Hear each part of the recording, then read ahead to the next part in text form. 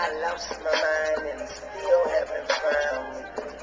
I used to be so well rounded, but now I tiptoe on hell's boundaries. Baby, aka crazy, trapped in a maze for I